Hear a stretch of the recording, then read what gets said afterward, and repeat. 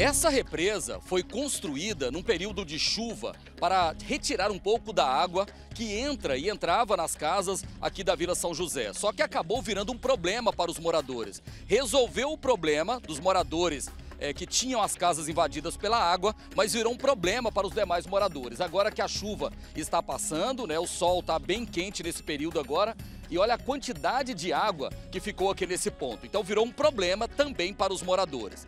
Só para você ter uma ideia de onde nós estamos e onde essa represa construída pela prefeitura está, ali ó, atrás daquele matagal ali fica a marginal Cascavel, é, é onde desce a parte canalizada, né? E do outro lado aqui fica o Ribeirão Anicuns. Então nós estamos bem no encontro do Anicuns com o Cascavel.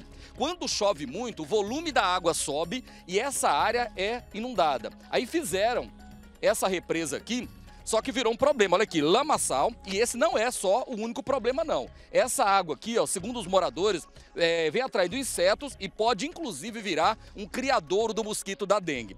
A Meire, que estava conversando com a gente aqui, falaram o seguinte, que quando fizeram essa obra, prometeram colocar uma máquina para retirar essa água e jogar no Anicuns ou no Cascavel, mas até hoje nada.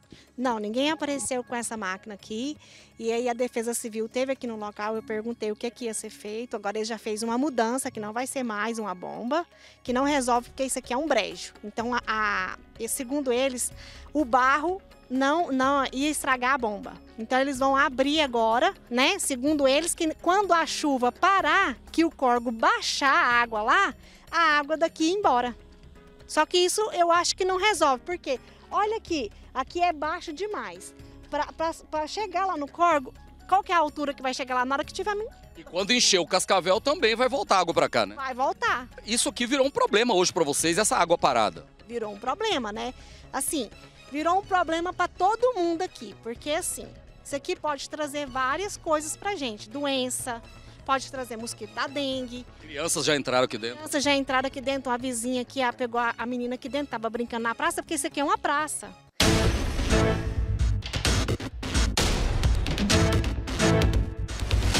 Para você entender a situação, vamos mostrar aqui, ó. Essa aqui é a Rua 6. Toda vez que chove, há muitas décadas, a gente vem acompanhando, isso aqui tudo fica inundado, fica alagado. Do lado de lá fica a Rua São Clemente e logo após aqueles coqueiros, aquelas árvores, fica a Avenida Leste-Oeste. Então só para você ter uma ideia onde nós estamos. Toda vez que chove, isso aqui ó, fica inundado. Inclusive tem imagens de uma moradora aí mostrando como fica isso aqui no dia de chuva. As casas aqui, ó, mais próximas, todas ficavam inundadas. Essa represa foi construída com o objetivo de retirar a água das casas, só que virou um problemão. É, essa moradora aqui, há quanto tempo que você mora aqui nessa região? 45 anos. Essas imagens que a gente viu aí que vocês fizeram num dia de chuva, vocês já se acostumaram com isso? Isso aí é direto. Choveu, alaga tudo, a gente tem que filmar para mostrar para os outros, para os outros acreditar. Mas aí fizeram essa represa para tentar resolver um problema, mas criou outro. Não adiantou nada, porque quando chove muito aqui, imunda, a água da rua não escorre para cá, porque aqui já está cheio. Como é que vai vir? Aí imunda a rua todinha. Então resolveu para alguns moradores que a água não entra na casa, mas virou um problema que mora de cá. Virou muito problema isso aqui. Isso aqui tem que acabar com isso aqui e dragar o córrego. Põe uma draga lá dentro e dragar e resolve o problema. Vocês acham então que a solução é dragar, rebaixar a caixa do córrego? É abaixar a caixa do córrego. É dragar ela, passar a draga aí dentro, igual muitos anos atrás foi feito. Ficou bom, nós ficou muitos anos sem enchente, porque o córrego enche de areia. Brota a areia do córrego. Aí vai ficando raso demais, aí é onde que imunda. Só para você ter uma outra ideia também, mostra pra gente aqui, André, essa galeria que tem bem aqui, ó. É, essa galeria, antigamente, quando chovia muito, a água do Ribeirão Nicuns, ela voltava por essas galerias e ajudava a inundar essa área. Aí eles colocaram um dispositivo na ponta, na boca dessas manilhas, que não permite a água voltar por elas. Só que desce tanta água nessa região aqui que acaba ficando inundado do mesmo jeito, né? Inunda do mesmo jeito, não adianta, porque aqui, aqui é muito baixo, lá é alto. Aí a água da chuva, da, da, da, da rua, vem tudo pra cá. Aí chega aqui, o córrego tá cheio, tampa essa boca, não tem como a água escorrer e entra nas casas. E vira esse problemão aqui. Morei ali, ó, eu, tive, eu tinha, de noite eu tinha que sair correndo. Com, os- com as crianças por causa que aqui já estava cheio. Isso aqui fica inundado, né? Esse asfalto desaparece na água. Desaparece e a gente fica o quê? A noite inteira, quando não é eu e meu esposo. A noite inteira em cima do barranco, olhando se se está aumentando a água para a gente poder sair, né?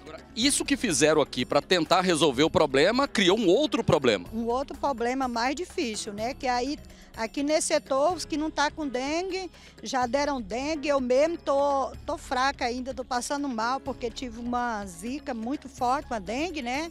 Muito forte. Então, eu creio que causou mais dificuldade para nós aqui. Sem contar que virou um lugar feio, né? Isso aqui. Tá feio, fedido, onde vai jogando lixo, né? E vai só acumulando sujeira aqui para nós. Ou seja, isso aqui resolveu temporariamente durante a enchente, né? Isso, isso, temporariamente, durante a, a enchente, mas depois, Mas quando fizeram isso aqui, ah, alegaram que iriam retirar, iriam bombear essa água. isso, mas só que essas bombas nunca apareceu para ser bombeada essa água. O Elisier, que mora há muito tempo aqui, né, inclusive já sofreu muito, teve muito prejuízo aqui com a enchente, estava dizendo pra gente que só isso aqui não resolve o problema, né? Não resolve. Aqui é o seguinte, você tem que fazer uma, uma, uma tampa de contenção com a manilha para jogar no corgo.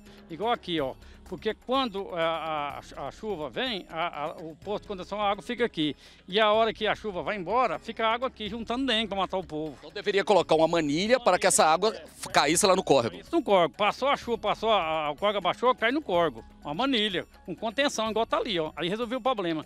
E esse dica aqui, jeito que fez aqui, ficou bom. Mas tem que levar ele até na leste-oeste com pedra. Resolveu, resolve o problema. O que ele está dizendo é o seguinte: esse paredão que fizeram aqui, bem no final, esse dique aqui, ó, no final, no encontro do Cascavel com o Anicuns, deveria ser feito até a ponte, até lá em cima, eh, na leste-oeste, para evitar que a água voltasse para cá. Exatamente. Fazer isso aí com pedra tá resolvido. Faz com pedra marroada de terra tá resolvido. Levantar o paredão. Levantar o paredão até na leste-oeste. Com pedra marroada. Tira da beira do corgo, segue até na leste-oeste. Tá, re- resolve o problema. E nesse lugar onde fizeram eh, essa represa aqui, fazer o mesmo trabalho que fizeram com essa tubulação. O trabalho que fez aqui. Que Vamos, vamos mostrar aqui, porque essa tubulação, como eu falei agora há pouco, é o seguinte: ah, antigamente a água voltava do Anicuns para cá. Aí colocaram um equipamento na ponta dela que a água não volta por ela. Então tem que fazer nessa represa o que fizeram aqui. O que fizeram aqui, tem que fazer aqui, né, nesse contenção aqui, nesse disco de contenção, o que fizeram aqui tem que fazer lá, para a água ir embora. Para não ficar água na época da seca, porque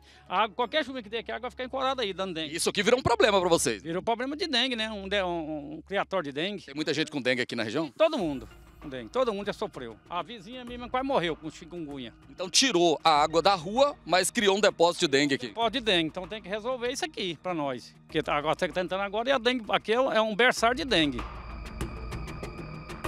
Para quem mora aqui na região, a saída estaria na continuidade do paredão, às margens aqui da marginal Cascavel, para eh, levantar a caixa e evitar o transbordamento. Mas para isso teria que retirar pelo menos eh, moradores de sete chacras aqui. De sete chacras.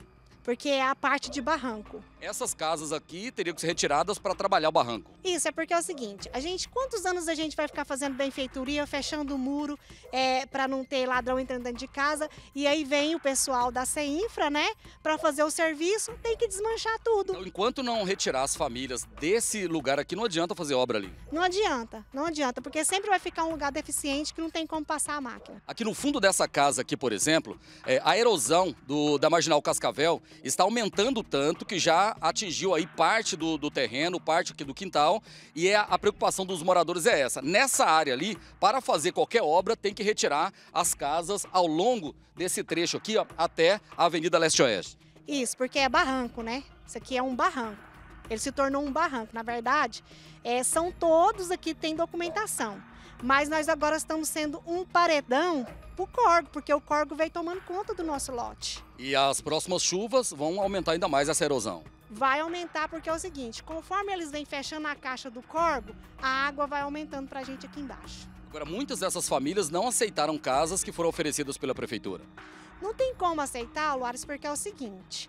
Como que esse pessoal de chácara que vai aceitar uma casinha do governo que vale 50 mil reais ou que seja 100 mil reais, eu não sei quanto que vale a casa deles, que a gente paga 4.500 reais de imposto numa chácara de 2.150 metros Então, o que os moradores querem aqui é indenização para sair daqui. para sair daqui. a indenização seria o correto. Por quê? Porque aí eu queria ver quem que vai atrapalhar para fazer o barranco aqui. Ninguém mais. Bom, então é isso que os moradores aqui querem, né? É, sugere, inclusive, a retirada dessas casas aqui que estão próximo à Marginal Cascavel e a construção da galeria para escoar a água que está acumulada lá no final da rua.